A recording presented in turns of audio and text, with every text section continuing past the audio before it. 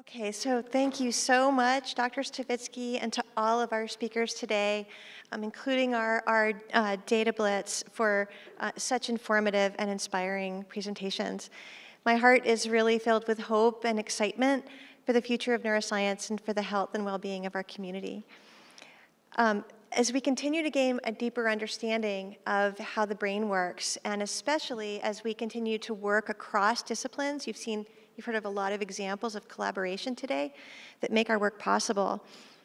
We really believe that we're going to be making continuing and increasing transformative discoveries that will allow us to identify new treatments and potential cures for these, these disorders across all of these different diseases that you heard about today.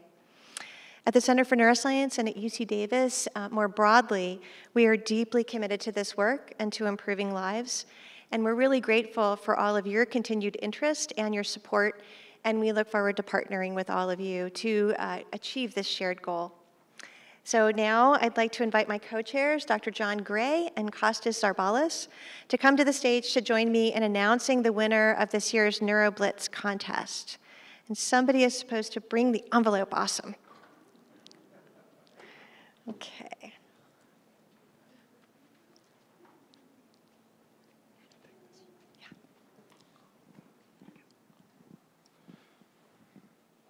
Goes first? Okay, we have a winner. Uh, and it is for the NeuroBlitz presentation, Lucas Cuya, by a very narrow margin. And I don't see him. I see. Oh, okay. By the narrowest mar uh, margin imaginable, just one vote, but yet, just by one vote. Oh, wow. Here you go. And congratulations one more time. Terrific. So, um, on behalf of the UC Davis Center for Neuroscience faculty, students, and staff, I want to thank all of you again for your participation, for joining us today. It's been great to be back in person. I can feel the energy, it's wonderful. We want you to stay healthy, and we look forward to hopefully seeing you again next year at next year's NeuroFest.